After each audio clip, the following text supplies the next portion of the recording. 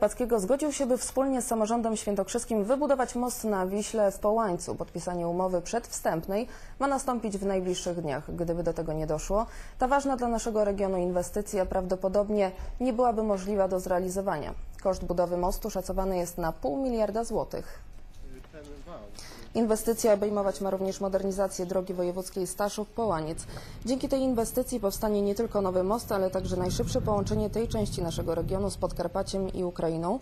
Koszt tego przedsięwzięcia szacuje się na pół miliarda złotych, z czego połowa ma pochodzić z unijnych dotacji. Samorząd Podkarpacia zwlekał z podjęciem decyzji o wspólnej inwestycji, bo część tamtejszych radnych nie była przekonana do konieczności budowy mostu właśnie w tym miejscu. Wstępna umowa, która pozwoli rozpoczynać przygotowania do realizacji tej inwestycji, ma być podpisana do połowy miesiąca w Warszawie.